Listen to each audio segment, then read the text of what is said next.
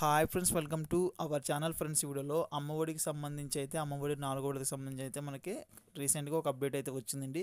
So ఈ update మనం చూసుకున్నట్లయితే కనుక ఈ అప్డేట్లో ఉన్నటువంటి విషయాలు ఏంటంటే సో ప్రజెంట్ నవంబరు పదిహేను తారీఖు దాకా కూడా ప్రజెంట్ ఎవరైతే పిల్లలు ఉంటారో స్కూల్ నుంచి వచ్చిన పిల్లలు సో వీరందరికీ సంబంధించి వివరాలను అయితే వాలంటీర్స్ అయితే సేకరించడం అయితే జరుగుతుందండి సో ఎక్కడైతే ఎవరైతే చదువుకుంటున్నారో అలాగే ప్రీవియస్ అమ్మఒడి డబ్బులు ఎవరి అయితే పడినాయో వాళ్ళ దగ్గర నుంచి ప్రజెంట్ లాస్ట్ అప్లికేషన్స్ ఏవైతే మీరు పెట్టుకుని ఉంటారో ఆల్రెడీ మీకు పన్ను వాళ్ళందరూ కూడా ప్రజెంట్ వారి డీటెయిల్స్ అయితే కూడా ఇంటికి వచ్చి అయితే తీసుకోవడం అయితే జరుగుతుందండి. సో ఇవన్నీ కూడా తీసుకుండి సో ఫైనల్ ఎలిజిబిలిటీ లిస్ట్ అయితే వీళ్ళైతే తయారు చేయబోతున్నారు. డిసెంబర్ ఒకటో తారీఖు కల్లా ఈ ఎలిజిబిలిటీ లిస్టులు ప్రతిదీ కూడా అంటే ఎవరైతే ప్రజెంట్ లాస్ట్ ఇయర్ పొంది ఉన్నారో అలాగే రీసెంట్గా ఎవరైతే అప్లై చేసుకుని ఉన్నారో వీరికి సంబంధించి వాళ్ళ దగ్గర నుంచి డాక్యుమెంట్స్ అవి కలెక్ట్ చేస్తారండి.